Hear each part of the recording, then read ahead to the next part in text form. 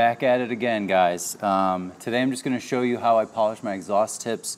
Um, really, around the edges is super difficult to keep clean, even if you clean them regularly, especially if you don't have catalytic converters. That um, definitely makes things a lot more messy. So I got some steel wool and I'm going to be using this. This is the finest steel wool. It's the, I believe it's four zeros. It's zero zero zero zero.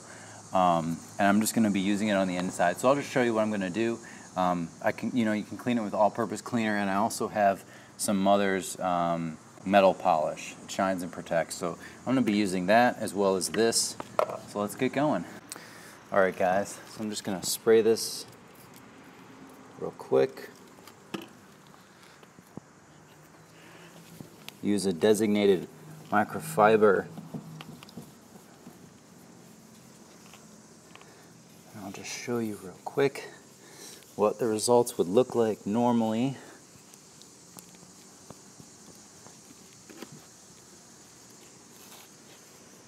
So that's really it. I mean, I can put the polish on it, but it's not going to get much different.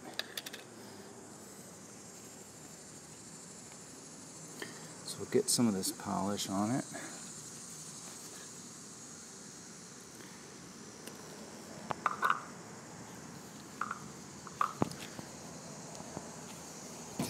Oops. I'll just take some steel wool. Like I said, this is the super fine stuff. And all you have to do is go gently around the surface.